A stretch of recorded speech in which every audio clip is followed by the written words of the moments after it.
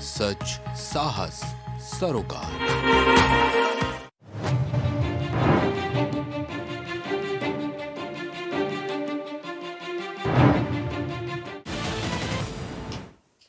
नमस्कार, आप देख रहे हैं प्राइम टीवी और मैं हूँ आपके साथ मुस्कान अजमानी। खबर दोपहर की शुरुआत करते हैं। 13 अगस्त 1980 वो दिन ईद का था। मुरादाबाद की ईदगाह में करीब पचास हज़ार नमाजी, नमाज़ अदा करने के लिए निकले थे। लेकिन नमाज़ शुरू होते ही चारों तरफ़ शोर होने लगा और इस शोर की वजह थी कि मुस्लिम धर्म में एक नापाक माने एक माने वाले जानवर का ईदगाह में घुस जाना। नमाज़ अदा कर रहे लोगों ने आरोप लगाया कि उन्होंने वहाँ खड़े पुलिस वालों को उस जानवर को भगाने के लिए कहा, लेकिन पुलिस वालों ने ऐसा करने से इनकार कर दिया। इसी वजह से पुलिस और वहाँ मौजूद लोगों के बीच बहसबाजी तक शुरू हो गई और ये बहसबाजी धीरे धीरे पत्थरबाजी में बदल गई। एक पत्थर एसएसपी के सिर पर जा लगा, जिसके बाद कथित तौर पर पुलिस ने फायरिंग शुरू कर दी, जिसके बाद लोगों का गुस्सा पुलिस पर टूट पड़ा। दोनों तरफ़ से फायरिंग हुई और पुलिस स्टेशन तक को जला दिया गया। अब आप कहेंगे कि तिरालीस साल पुराने दंगों की यादें ताज़ा करना आखिर क्यों ज़रूरी है? दरअसल तब से लेकर अब तक यूपी में कई सरकारें आई और गई, लेकिन किसी भी सरकार ने उन दंगों की जाँच रिपोर्ट को कभी सार्वजनिक नहीं होने दिया। लेकिन अब योगी सरकार ने मुरादाबाद दंगों की जाँच रिपोर्ट को सार्वजनिक करने का फैसला ले लिया है, जिसके बाद अब सभी प्रदेशवासियों को तिरालीस साल पुरानी जो यादें थी, वो एक बार फिर से ताज़ा हो गई और मुरादाबाद के रहने वाले सभी जनपदवासी कहीं ना कहीं एक बार फिर से उस पूरे हिंसक घटना की याद में डूब गए हैं। दरअसल, जब मुरादाबाद दंगा हुआ तो उस वक्त प्रदेश में कांग्रेस की सरकार थी, तब विश्वनाथ प्रताप सूबे के मुखिया हुआ करते थे। सीएम बनने के दो दिन बाद ही ईद के मौके पर यह दंगा हुआ। इस दौरान तकरीबन पचास हज़ार नमाजी ईदगाह के अंदर मौजूद थे। आंकड़ों के मुताबिक ये कहा जाता है और ये भी कहा जाता है कि मरने वालों का आंकड़ा कहीं ना कहीं छुपा दिया गया है, यानी कि मरने वालों की संख्या बहुत ज़्यादा थी, लेकिन सरकार ने उस संख्या को काफ़ी कम दिखाया। तो अब जब तिरालीस साल बाद इस जाँच रिपोर्ट को सार्वजनिक किए जाने का फैसला लिया है तो इस फैसले को कितना सही और कितना गलत माना जाए इसी पर चर्चा करने के लिए आज हमारे साथ एक गेस्ट का स्पेशल पैनलिस्ट जुड़ा है। सपा से रविंद्र प्रताप जुड़े हैं। वहीं विवेक श्रीवास्तव भाजपा से हमारे साथ जुड़े हैं तो वही पवन दीक्षित कांग्रेस से हमारे साथ इस वक्त प्राइम टीवी पर जुड़ चुके हैं। पहले तो मैं आप तीनों ही गेस्ट का प्राइम टीवी पर बहुत स्वागत करूँगी। ठीक है। अब सीधा सवाल मैं रविंद्र जी से पहले शुरुआत करूँगी। रविंद्र जी जिस तरीके से तिरालीस साल बाद इस जाँच रिपोर्ट को सार्वजनिक करने का फैसला लिया गया है आप इसको कहाँ तक सही मान रहे हैं? कोई भी जाँच रिपोर्ट सार्वजनिक हो इसमें किसी को बहुत इको बहुत आ रही है। किसी भी प्रकार की इसमें समस्या नहीं होनी चाहिए। हम्म। लेकिन इसका इसका जाँच रिपोर्ट को सार्वजनिक करने का कारण जो हो वो तो सांप्रदायिक दूरीकरण ना हो। उदाहरण के रूप में बता रहा हूँ। इसी घटना के बाद मलियाना में कांड हुआ था नरसंहार हुआ था। हम्म बासठ से बहत्तर मुस्लिम लोग मारे गए थे। हम्म अल, अलग अलग फिगर बताते हैं। और अभी पिछले साल चार्जशीट जारी किया गया है। उस चार्जशीट में कह दिया गया किसी ने किसी को मारा ही नहीं। ऐसी कौन सी हत्या जिसमें किसी ने किसी ने किसी को ना मारा हो और बासठ से बहत्तर लोग मर जाए? उसकी भी जाँच होनी चाहिए। हम्म। जाँच हो के उसका भी खुलासा होना चाहिए। फिर उसके बाद में एक के बाद एक बड़े दंगे हुए हैं जो आज तक नहीं हुए। गोरखपुर में 2007 में दंगा हुआ। उसकी भी जाँच होनी चाहिए। मऊ में 2005 में दंगा हुआ। उसकी भी जाँच होनी चाहिए। दोनों तरफ़ के लोग मरे थे। बिल्कुल। खाली हिंदू ही नहीं मरे थे मुसलमान भी मरे थे। पचरुखिया में दंगा हुआ एक सिपाही भी मारा गया जनता भी मारी गई। उन्नीस सौ निन्यानवे में उसकी भी जाँच होनी चाहिए। मोहन मुंडेरा कुशीनगर में दंगा हुआ उसकी भी जाँच होनी चाहिए। सियाना में इंस्पेक्टर साहब मारे गए सुबोध सिंह जी उसकी भी कायदे से जाँच होनी चाहिए। तो अगर इस प्रकार की जांचें खुलासा या सरकार करती है तो हम स्वागत करते हैं। और अगर अगर वो बौखलाहट में कर रही है कि उत्तर प्रदेश में पंद्रह करोड़ मतदाता हैं दस करोड़ पंचायतों में हैं ग्रामीण स्तर के मतदाता हैं पाँच करोड़ शहरी निकाय में। अब भी शहरी निकाय के चुनाव में लगभग लगभग सत्तर फ़ीसदी मतदाताओं ने भाजपा को नकार दिया। रविंद्र जी फिर तो जाँच मुजफ्फरनगर दंगे की भी होनी चाहिए। शाहजहांपुर में जिस पत्रकार को ज़िंदा जला दिया गया और उसने मरते मरते सपा के नेता का नाम लिया फिर तो जाँच इसकी भी होनी चाहिए। आप पता नहीं मुजफ्फरनगर दंगे के बारे में आपको मालूम है कि नहीं? मुजफ्फरनगर दंगे की जाँच को मुकदमा दर्ज है, जाँच हो रही थी। उस मुकदमे को उत्तर प्रदेश सरकार ने वापस ले लिया। एक पीआईएल डाली गई। पीआईएल डालने के बाद से सुप्रीम कोर्ट से आदेश आया कि नहीं, जाँच होगी, जाँच हो रही है। एक एक विधायक अपराधी घोषित किया जा चुका है। दो लोग बलात्कारी घोषित होकर सजा मिल चुकी है अन्य लोगों को भी सजा मिलेगी जाँच चल रही है सुप्रीम कोर्ट का निर्देश ठीक है और शाहजहांपुर में पत्रकार का क्या जिसको मौत के घाट उतारा गया था ज़िंदा जलाकर? उसको भी जाँच होनी चाहिए उसकी नहीं जाँच होनी चाहिए एक दूसरे पत्रकार को गिरफ़्तार कर लिया गया था एमडीएम मील दिखाने के लिए। अब बाद में वो कैंसर से पीड़ित होकर मर गए। तो दिखाना कोई अपराध नहीं है। माननीय सुप्रीम कोर्ट ने भी आदेश दिया कि कोई पत्रकार से उसके माध्यम को नहीं पूछा जा सकता है। गिरफ़्तार करना तो बहुत दूर कर दीजिए। उसकी भी जाँच करा ले उत्तर प्रदेश सरकार। ठीक है, यानी कि आपका ये कहना है कि अगर इस जाँच रिपोर्ट को सार्वजनिक किया जा रहा है तो आप इसका स्वागत करते हैं, लेकिन इस रिपोर्ट को जो जारी करने के पीछे धर्मान, जो धर्म है वो मुद्दा ना हो। विवेक जी, अभी आपने साफ़ तौर पर सुना कि रविंद्र जी ने कहा कि इस रिपोर्ट को सार्वजनिक किए जाने का तो वो स्वागत करते हैं, लेकिन धर्म के नाम पर अगर इस रिपोर्ट को जारी किया जा रहा है तो बेहद गलत है। देखिए, मुस्कान जी कोई रिपोर्ट, कोई घटना तिरालीस साल पूर्व की है। तत्काल कभी कभी सरकारें उसको इसलिए नहीं जारी करती कि हो सकता है तत्कालिक रूप से इससे समाज में सामाजिक विद्वेष फैले। लेकिन आज एक अरसा बीत चुका है। तिरालीस साल कोई कम वक्त नहीं होता। अगर वहाँ के लोग ये जानना चाहते हैं कि वहाँ के उस दंगे के लिए जिम्मेदार कौन लोग थे? और ये रिपोर्ट है, सरकार के पास है तो सरकार उसे जारी कर सकती है। उसके जारी करने में किसी को कोई आपत्ति नहीं होनी चाहिए। ऐसा तमाम उदाहरण है, जब थोड़ा समय बीतने के बाद तमाम ऐसी रिपोर्टें जनता के संज्ञान के लिए सार्वजनिक की जाती है। हम्म। उसी क्रम में ये रिपोर्ट भी अगर सार्वजनिक करने का निर्णय सरकार लेती है तो उसको सबको संज्ञान लेना चाहिए। तथ्यों से लोग अवगत होंगे। और उसके पहले ही इसको धार्मिक खांचे में खींचना ये ठीक बात नहीं है। एक समिति जिसने जाँच की उसकी रिपोर्ट अभी तक धूल फांक रही थी। हम्म। अब अगर वो सार्वजनिक हो रही है उससे तथ्यात्मक जानकारी सबको मिलेगी।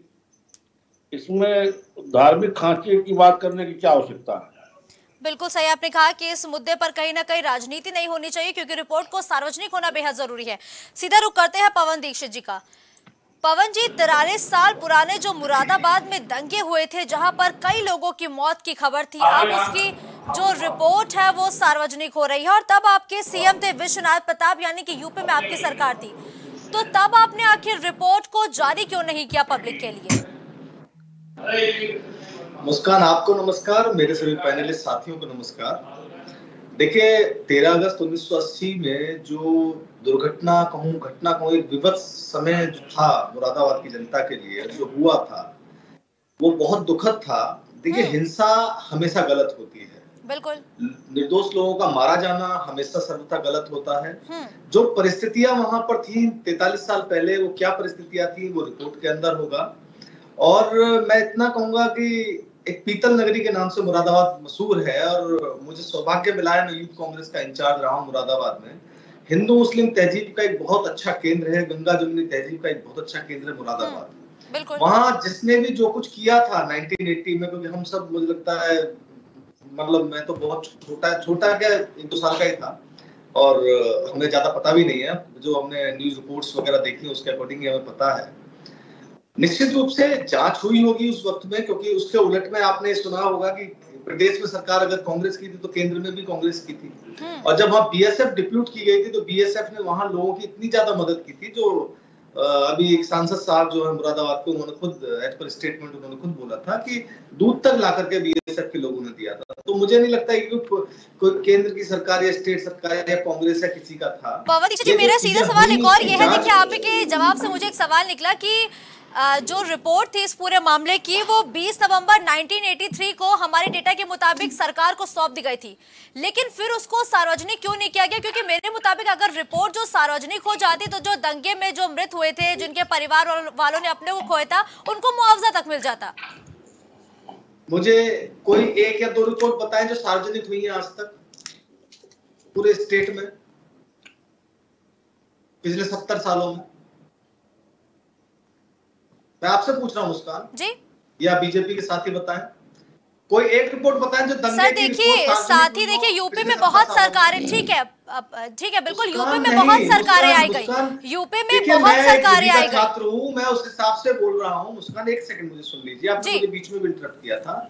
मैं वहीं आ रहा था जाँच की रिपोर्ट 99.9 परसेंट सार्वजनिक नहीं की जाती है। हम्म। ये नहीं होता है। ये किया जा सकता है, जो प्रदेश सरकार वर्तमान में कर रही है, किसी ने कंप्लेंट किया था, क्या किया था यह भी हमें कुछ नहीं पता, मुझे नहीं पता व्यक्तिगत रूप से कि किस आधार पर क्यों एक रिपोर्ट सार्वजनिक की जा रही है। रिपोर्ट सार्वजनिक की जाए, और जो जो चीज़ें उसमें हैं, वो पब्लिक को बता दी जाए। ठीक है, उससे देखिए मैं एक बात कहूँगा कि अभी आपने खुद एक बात बोल रही थी कि वहाँ जब से अब तक सारी जितनी पार्टियाँ हैं स्टेट में सबकी सरकार रही हैं। बिल्कुल। कांग्रेस हो एसपी हो बीएसपी हो या बीजेपी हो मेनली हमारे यही पार्टियाँ हैं और इनकी सरकार रही हैं। तैतालीस साल का एक बहुत लंबा समय लगभग आधी सदी के आसपास का वो समय हो चुका हम्म। है और ये समय गुजरने के बाद आज एक रिपोर्ट को पब्लिक करने के लिए हेलो जी। आवाज़ आ रही है मेरी आपको? हाँ जी हाँ जी सुन पा रहे हैं हम आपको बताइए। हेलो फ़ोन कट गया है? ठीक है, मैं अपनी टीम से कहूँगी कि दोबारा पवन दीक्षित जी से संपर्क साधने का प्रयास करें। तो अभी आप दोनों ने ही सुना कि पवन दीक्षित जी ने साफ़ तौर पर कहा कि आज तक किस मामले की रिपोर्ट, कौन सी पार्टी ने सार्वजनिक की है? रविंद्र जी, अब आपको जवाब देना है। अगर रिपोर्टें सार्वजनिक कर नहीं की गई पिछले दिनों में तो आप कर ले, दिक्कत क्या है? अब तो बीजेपी की सरकार कर देना चाहिए। उसमें ए, एक रिपोर्ट और है लिब्राहन आयोग का रिपोर्ट उसको भी बहुत साल हो गए उसको भी सार्वजनिक कर देना चाहिए। तो अगर सरकारों ने नहीं सा, सार्वजनिक किया था तो उन सरकारों से बीजे वर्तमान बीजेपी सरकार पूछे क्यों नहीं सार्वजनिक किया था? हम्म। जैसे बीजेपी सरकार ने एक एसआईटी गठित किया था लखीमपुर कांड में आज तक कुछ एसआईटी की रिपोर्ट सार्वजनिक नहीं हुई। हम्म को भी कर दे। चिन्मयानंद पकड़ा गया था। तब एक सार्वजनिक एक एसआईटी गठित की गई थी उसकी भी रिपोर्ट सार्वजनिक कर दे। और पीछे सरकारों से पूछे कि जो रिपोर्ट गई वो सार्वजनिक क्यों नहीं की गई? देखिए हम कर रहे हैं। चिन्मयानंद वाला भी कर रहे हैं। हम अजय मिश्रा टेनी वाला भी कर रहे हैं। लिब्रान आयोग वाला भी हम सार्वजनिक कर दे रहे हैं। तो ये ये ये हमारा काम नहीं है बताने का। ये सरकारों का काम होता है। क्योंकि जो जो रिपोर्टें होती हैं, वो रिपोर्टें जो भी देता है, जैसे यहाँ के वर्तमान मुख्यमंत्री जी ने कमिट गठित किया था, जस्टिस एमपी सक्सेना के द्वारा तो जस्टिस एमपी सक्सेना ने मुख्यमंत्री जी को दिया, मुख्यमंत्री जी ने रख दिया। लिब्रा आयोग कमेटी गठित हुई थी, उसने अपनी रिपोर्ट दे दी, उस समय के प्रधानमंत्री माननीय मनमोहन सिंह जी को। रिपोर्टें क्यों नहीं सार्वजनिक हुई? ये बीजेपी सरकार को आके बताना चाहिए जब एक रिपोर्ट सार्वजनिक कर रही है और वर्तमान में तीन चार रिपोर्टें अभी उसने एसआईटी की जाँच कराई है। ठीक है। उनको उनको भी सार्वजनिक कर दे। ठीक है रविंद्र रविंद्र जी यूपी में आपकी पार्टी की पकड़ काफ़ी मज़बूत और कहीं ना कहीं एक मज़बूत विपक्षी पार्टी कही जाती है सपा। तो आप कहीं ना कहीं भाजपा सरकार पर इसका प्रेशर कर सकते हैं कि वो जो है जो सारी रिपोर्ट्स है उसे सार्वजनिक करे। आपने भी कभी आज तक उन पे प्रेशर नहीं किया? कभी उन्हें बोला नहीं कि वो वो तो रिपोर्ट सार्वजनिक करे? क्योंकि ये परिपाटी नहीं थी। परिपाटी नहीं हुआ करती तो हमने कुछ नहीं कहा। अब क्या है? लड़ाई हो रही है प्रधानमंत्री प्रधानमंत्री खेला जा रहा है बीजेपी में। एक यूपी के मुख्यमंत्री हैं वो भी प्रधानमंत्री के दावेदार हैं। एक केंद्र में बैठे हुए दस साल के प्रधानमंत्री नौ साल के प्रधानमंत्री वो भी दावेदार हैं। ये रिपोर्टें उपोर्टें सार्वजनिक हो रही है। परिपाटी नहीं थी मैंने आपको बता दिया। हम्म तो जो परिपाटी तोड़ रहे हैं उत्तर प्रदेश के वर्तमान मुख्यमंत्री जी तो उनके कार्यकाल में छह सात रिपोर्टें जाँच आई हैं एसआईटी की रिपोर्ट में। उसको भी उसको भी सार्वजनिक कर दें और पीछे की सारी रिपोर्टें सार्वजनिक कर दें कौन रोकेगा उनको? ठीक है जो विवेक जी अब मांग उठ रही है। कि जो लखीमपुर का कांड हुआ उसकी रिपोर्ट भी सार्वजनिक कर दी जानी चाहिए और जो तमाम आपके कार्यकाल में जो सभी जो थोड़ी बहुत भी चुटपुट हिंसा हुई है उसकी भी रिपोर्ट सार्वजनिक हो जानी चाहिए। देखिए मुस्कान जी विपक्ष अपनी जिम्मेदारियों से भाग रहा है। हम्म। रिपोर्ट सार्वजनिक करने में सरकारें गुरेज तब करती हैं जब सरकार की करनी और कथनी में कई अंतर हो।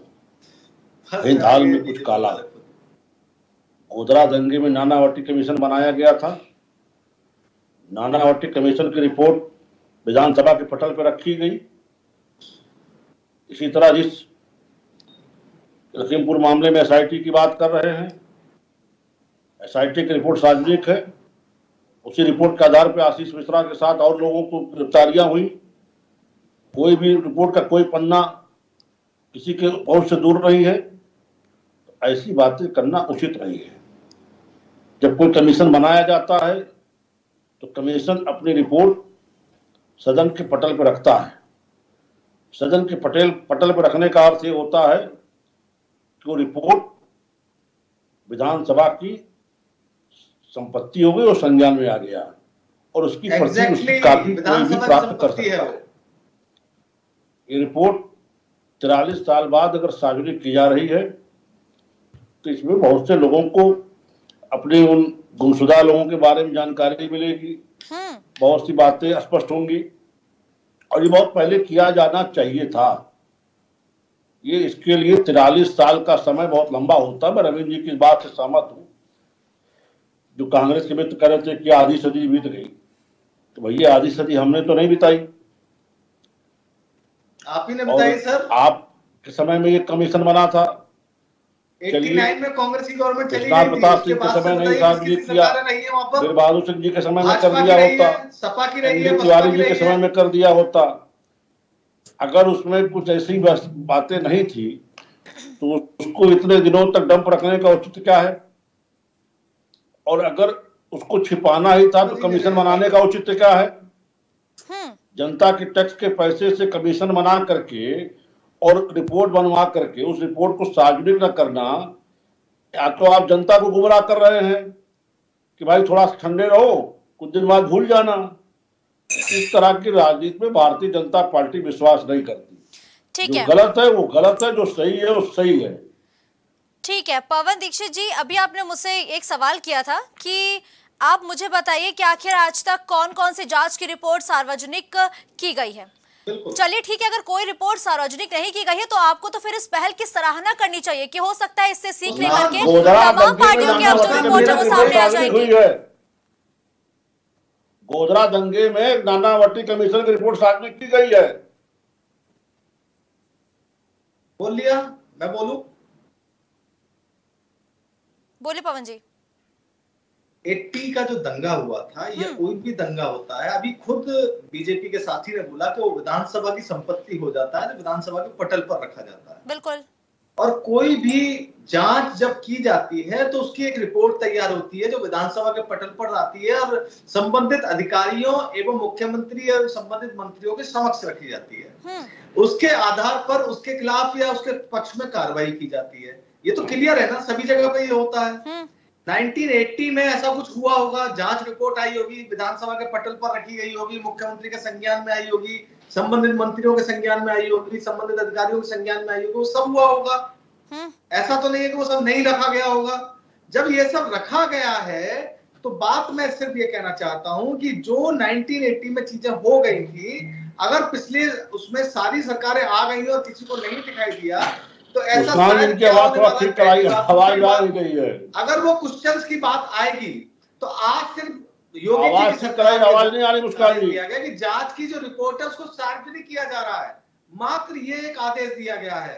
हम्म। बिल्कुल करनी चाहिए मैंने शुरुआत में बात कोई भी चीज़ें जो हो वो पब्लिक के फ़ायदे के लिए होनी चाहिए। आप रिपोर्ट कोई भी लेकर के आते हैं सार्वजनिक करते हैं। मेन बात ये कि फोर्टी थ्री ईयर्स लग गया सारी सरकारें जब आई हैं सारी सबको पता होगा ऐसा तो है नहीं कि नहीं पता होगा सब बातें। हम्म आज ये किसने ये रिपोर्ट या किसने ये एप्लीकेशन डाला था मुझे नहीं पता है। किस आधार पर प्रदेश सरकार इस रिपोर्ट को सार्वजनिक कर रही मुझे नहीं पता है। निश्चित रूप से कोई भी दल या कोई भी व्यक्ति ऐसा नहीं होगा जो ये कहेगा कि जाँच रिपोर्ट बाहर नहीं आनी चाहिए जब हमें किसी को पता ही नहीं है रिपोर्ट के अंदर है क्या। तो ये हम इस बात को नहीं कह रहे कि रिपोर्ट वापस नहीं आ गई लेकिन जो परिपाटी रही है जो रूल में चीज़ें रही है वो यही रहा है जाँच रिपोर्ट लगती है। मुझे बताइए हज़ारों एनकाउंटर हुए और सबकी जाँच नहीं हुई है। ठीक है पवन जी यानी आपके मुताबिक जो 1980 में दंगे हुए थे उसमें जो सारे रूल्स है जो सारे संविधान में कानून है उसका पालन करते हुए आपने एक्शन लिया था ये कह रहे हैं। एक इंसान ऐसा बता दीजिए जिसको मुआवजा मिला हो। या एक पुलिसकर्मी ऐसा मुझे बताइए जो मुजफ्फरपुर जो यहाँ मुरादाबाद के दंगे में मृत घोषित हुआ हो और उसके परिवार वालों को मुआवजे या सरकारी नौकरी मिली हो। पुलिस वालों को मिला होगा। पुलिस वालों को मिला होगा। सर मेरे पास जो मेरे अपने डेटा तो- है उसके मुताबिक ना एक भी पुलिस वालों को कुछ भी ना उनके परिवार वालों को आर्थिक मदद दी गई है ना ही उनके परिवार वालों को नौकरी दी गई है। मैं देखिए ये हो ही नहीं सकता। ये आपको पता होगा ऑन ड्यूटी गवर्नमेंट सर्वेंट की डेथ होने पर। उसके परिवार के जनों को आज भी नौकरी मिलती है सरकारी आप कैसी बात कर रहे हैं उसका? मैंने तो उसके बारे में डिटेल पढ़ा नहीं लेकिन मुझे इतना तो रूल पता है ना। एक सरकारी कर्मचारी की अगर ऑन ड्यूटी मृत्यु हो जाती है तो उसके परिजनों में लेकिन आपने तो ऑन पेपर मौत का आंकड़ा ही कम बता दिया। जब आपने ऑन पेपर मौत का आंकड़ा ही कम बता दिया। आपको कैसे पता? आपको कैसे पता ये बात? सर पचास हज़ार लोग सुनिए पचास हज़ार लोग ईदगाह के अंदर मौजूद थे अंधाधुंध फायरिंग हो गई जलियांवाला बाग हत्याकांड आपको बखूबी पता होगा। वहाँ भी कुछ ऐसे ही नरसंहार हुआ था तब वहाँ मृतकों का आंकड़ा क्या था? और जो आंकड़े आपने पेश किए वो पूरी तरीके से हवा हवाई है ये पूरी जनता जानती है। ठीक है? रविंद्र जी अब मैं सीधा आपकी तरफ़ रुख करती हूँ। रविंद्र जी मैं सीधा आपका रुख करती हूँ। क्या आपको नहीं लगता कि इस दंगे की रिपोर्ट आ जानी चाहिए थी और जो भी पीड़ित है उनको मुआवजा मिल जाना चाहिए था? पहली बात तो ये समझिए कि मैंने शुरू में कह दिया है जितने जितनी भी रिपोर्टें आई हुई हैं उसको सार्वजनिक होना चाहिए। बिल्कुल। तो यह प्रश्न यह प्रश्न दोबारा नहीं पूछा जाना चाहिए था। दूसरी बात रही मुआवजा मिलता है उस पक्ष को जो सरकारी नहीं होता है। जो सरकारी पक्ष होता है उसके लिए पहले से स्थापित कानून है वो कानून आज तक हैं उस स्थापित कानून के बदले में उनको नौकरियाँ भी मिलती हैं मुआवजा भी मिलता है। तो अगर आप ये बात कर रही हैं तो अभी हमारे पास नहीं है लेकिन मैं दो दिन के अंदर आपको जहाँ वो रिपोर्टें भेज दूँगा आप दो दिन का समय लेंगे सर मैं आपको अभी डिबेट खत्म होने के बाद ही व्हाट्सएप करवा दूँगी। मैं आपको भेज दूँगा कि, कि किसको सरकारी किस किस कर्मचारियों को मुआवजा मिला बिल्कुल। मैं आपको भेज दूँगा। हम्म। ठीक है ना? दूसरा आप आप आप दूसरा विषय पे आइए। लिब्रा लिब्राहन आयोग भारत का सबसे लंबा चला हुआ न्यायिक आयोग है जो गठित किया गया था। हम्म। उसकी रिपोर्ट आज तक सार्वजनिक नहीं हुई। माननीय सुप्रीम कोर्ट जब फैसला दे रहा था मंदिर मस्जिद विवाद का उस समय उसके उल्लेख लिए उसने। लेकिन आज तक नहीं किया गया। उसमें भी हज़ारों लोग मरे थे दोनों तरफ़ से। तो आप ऐसा करें कि लिब्रायन आयोग ही घोषित कर दे। लिब्रायन आयोग की रिपोर्ट को घोषित कर दीजिए। उसको घोषित करने में क्या प्रॉब्लम है? मैं कह रहा हूँ, फिर एक बहुत दुखदायी घटना बताया, आपने उसको संज्ञान नहीं लिया। मलियाना में बहत्तर लोग मारे गए, साठ से बासठ से बहत्तर कहा जाता है। चार्जशीट जो शामिल हुई है बीजेपी सरकार के टाइम में, उसमें लिख दिया गया, किसी ने किसी को नहीं मारा।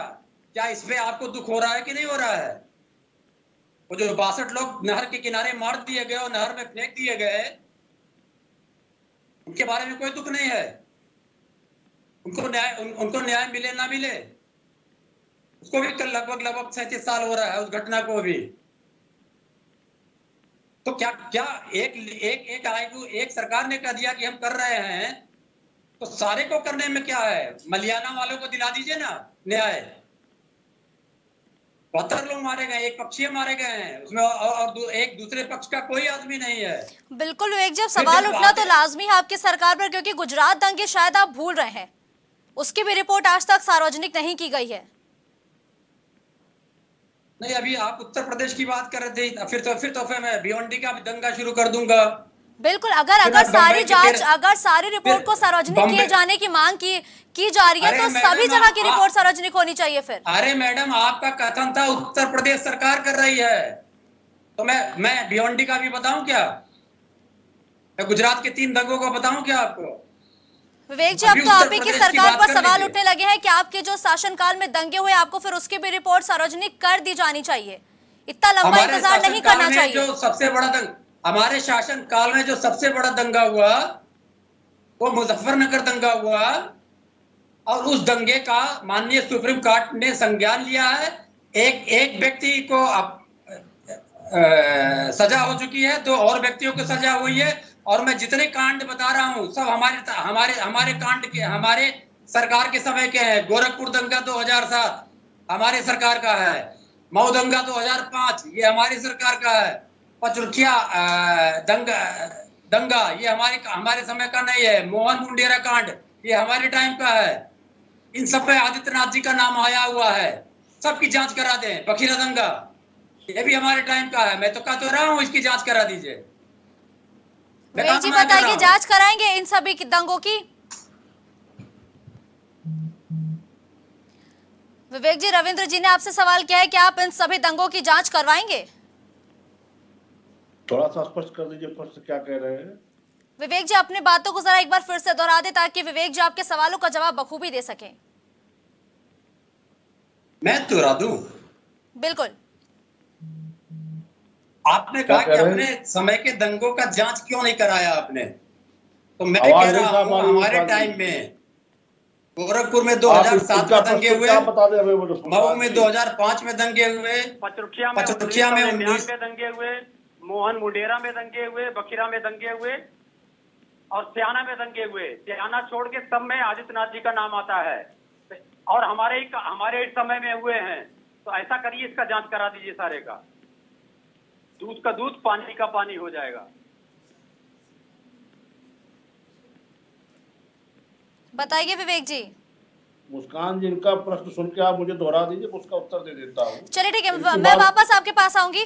पवन जी देखिए एक लंबे यानी कि तिरालीस साल बाद के लंबे मुस्कान जी। ठीक है ठीक है मैं वापस आऊँगी पवन जी। तिरालीस साल बाद इस जाँच रिपोर्ट को जब सार्वजनिक किया जा रहा है तो जो तमाम पार्टियाँ हैं वो कहीं ना कहीं ये कह रही है कि धर्म को जोड़ते हुए इस रिपोर्ट को अब सामने लाया जा रहा है। कितने सहमत है आप इस बात से? सौ परसेंट। सौ परसेंट न्यायमूर्ति सक्सेना ने जो मई नाइनटीन एटी थ्री में मैं इसी को पढ़ रहा हूँ अभी। उनका पढ़ा नहीं है मैंने रिपोर्ट प्रस्तुत की थी पटल पर। तो वो जो अब निकलने वाला है वो आपकी बात बिल्कुल सच होने वाली है। जो आपका संशय है और हमारा संशय सच अच्छा पवन जी ठीक है। एक बार को हम सबकी बात मान लेते हैं कि हो सकता है कि धर्म की राजनीति को कहीं ना कहीं तूल देने के लिए इस रिपोर्ट को सार्वजनिक किया जा रहा है लेकिन क्या आपको नहीं लगता है कि अगर आपके शासन में ये रिपोर्ट सार्वजनिक की जाती तो आज ये मुद्दा तिरालीस साल बाद फिर से इतना लाइमलाइट में नहीं आता देखिए एक बात मैं आपको। हम्म भारतीय जनता पार्टी के अलावा बाकी देश में जितनी पार्टियाँ हैं वो आपकी समरसता और संभाल के लिए बनाई जाने वाली पार्टियाँ हम्म। भारतीय जनता पार्टी का सिर्फ़ अफीम है हिंदू मुस्लिम की एक धर्म की राजनीति करना और धर्म में लोगों को तोड़ना। इस राजनीति को करने वाली अकेली देश में एकमात्र पार्टी है, जो भारतीय जनता पार्टी है। उसके अलावा जो भी दंगे होते हैं, झगड़े होते हैं, कुछ भी पता होती परिवार के मुखियाओं का फ़र्ज़ होता है, घर से शुरू कर रहा हूँ मैसेज और सरकारों पर, कि वो ये झगड़ा जो होने के बाद किसी तरह से उसको शांत कराया जाए। आपस में मिल बैठ के बातें करी जाए, ताकि वो चीज़ें ज़्यादा आगे ना बढ़ पाए। पवन जी लेकिन अभी आपने सुना कि विवेक जी ने कहा कि आखिर कुछ तो इस रिपोर्ट में ऐसा था जो कांग्रेस ने उस रिपोर्ट को सामने लाना मुनासिब नहीं समझा। विवेक जी को कैसे पता है कि कुछ तो ऐसा था? ये क्या ये क्यों ऐसा मतलब इस तरह से भारतीय जनता पार्टी के लोग बोलते हैं? इन्हीं इन इनकी इन्हीं बातों से भारतीय जनता पार्टी सबके दायरे में हमेशा आती है। इन लोगों को भविष्य की बातें पता होती हैं, जो होने वाला होता है, ये इन लोगों को पता होता है। इनकी इन्हीं बातों से भारतीय जनता पार्टी सबके दायरे में आती है जो सच निकलता है। क्योंकि इन लोगों को पता होता है, संगठन स्तर पर ये चीज़ें इनके यहाँ चलती रहती है क्या नया गलत होने वाला है। ये आप समझ लीजिए। और देखिए, ये परिपाटियाँ आप स्टार्ट कराएँगे, आप देखिए मुस्कान, सरकारों के स्तर पर अगर इस तरह की विद्वेष की राजनीतियाँ चलने लगेंगी तो कल को और पार्टियों की सरकार आएँगी तो इनकी खुलेंगी इनकी आएँगी तो उनकी खुलेंगी। इस देश की न्याय व्यवस्था पर इतना ज़्यादा लोड है। अगर ये जाँच रिपोर्टें ही खुलती रही ये सब चीज़ें होती रही मैं विपक्ष में नहीं हूँ। मैं चाहता हूँ कि हर व्यक्ति को न्याय मिले। एक विधि का छात्र तो हमारा काम ही है। लेकिन अगर आप इस तरह के इस तरह की चीज़ों जो अभी मुस्कान आपने क्वेश्चन किया कहीं ये धर्म विशेष की चीज़ों के लिए तो नहीं हो रहा है तो आप माहौल कैसा देने वाले हैं? आप किसी को दोषी मुझे मैं इस चीज़ को पब्लिक पे नहीं कहना चाहता ऑनलाइन नहीं कहना चाहता देखिएगा एक धर्म विशेष के लोगों को इसके बारे में जिम्मेदार ठहराया जाएगा। और वहाँ से फिर वही चीज़ें शुरू होंगी क्योंकि चौबीस आ रहा ठीक है रविंद्र जी ठीक है। इतना ज़्यादा गर्म कर दिया गया है इंडिया का सबसे कम्युनल इस टाइम में जो एरिया है वो यूपी है। और खासकर वेस्टर्न यूपी है। इसको फिर दोबारा हीट अप किया जाएगा उसी तरह से। वही हिंदू मुस्लिम फर्जी राष्ट्रवाद। और आप देखिएगा फरवरी, मार्च, अप्रैल तक यही सब चीज़ें, यही तत्वनिष्ठी बातें चलेगी। कोई डेवलपमेंट पर बात नहीं होगी, कोई रोजगारी पर बात नहीं होगी, कोई महँगाई पर बात नहीं होगी, कोई किसान पर बात नहीं होगी। बात सिर्फ़ होगी कहीं ना कहीं कहीं ना कहीं धर्म विशेष के व्यक्ति को कटघरे में खड़ा करने की। ये बात जान लीजिएगा, यही होने वाला है। बिल्कुल। रविंद्र जी लगातार आपकी पार्टी कहीं ना कहीं ये कहती है कि भाजपा किसी विशेष तबके को हमेशा फ़ायदा पहुंचाती है। लेकिन अभी तो ये मुसलमानों के फ़ायदे के लिए हो रहा है कि आखिर उनको न्याय मिल जाए उनके परिवारों को न्याय मिल जाए और उनके जो भी दर्द है जो भी लगातार वो कहते हैं कि हमें आज तक न्याय नहीं मिला। अब वो तो एक दूसरे धर्म के लिए काम कर रहे हैं। तब आपको इतनी तकलीफ़ क्यों? पहली बात तो मुझे पहली बात तो मुझे हो। तकलीफ़ नहीं हो रही है किसी प्रकार की। अब आप कैसे जान गए मुझे नहीं मालूम है।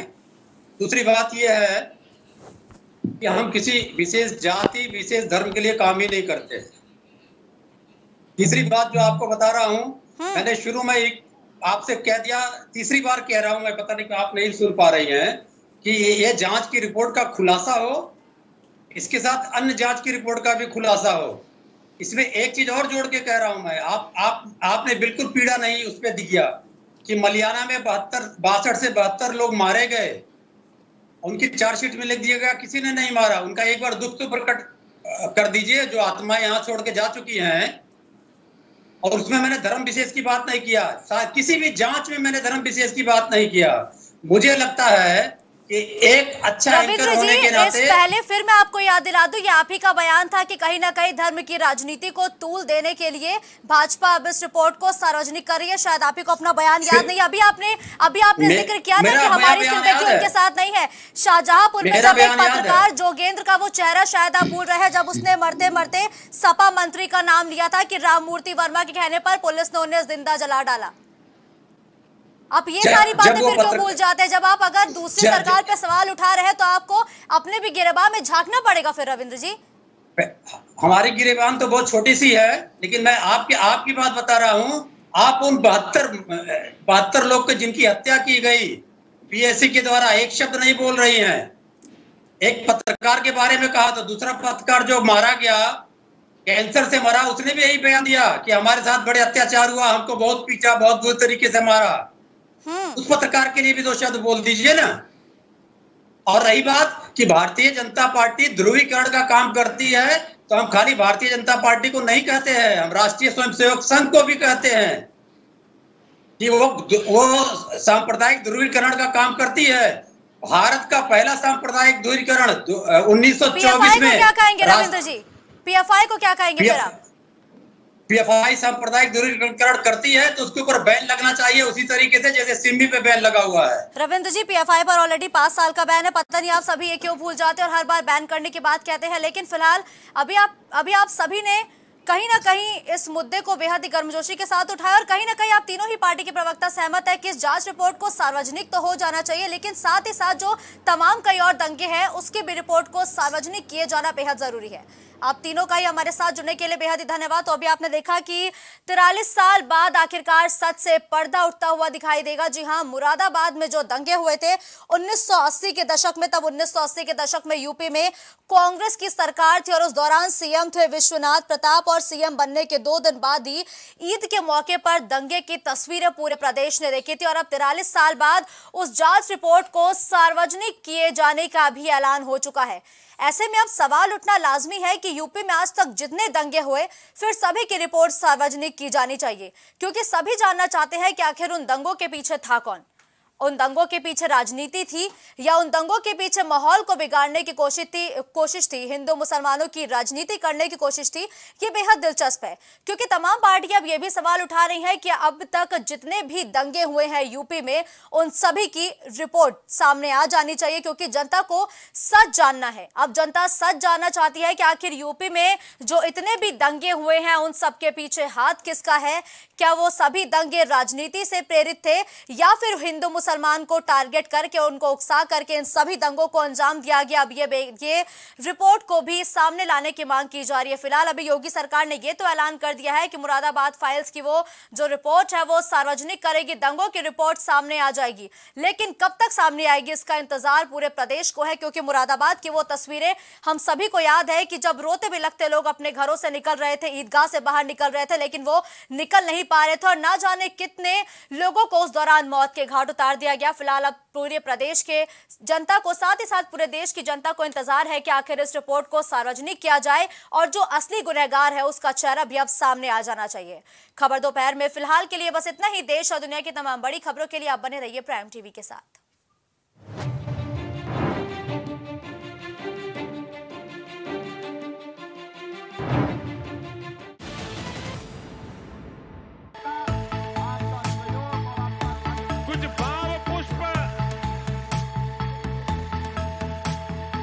आप देख रहे हैं प्राइम टीवी सच साहस सरोकार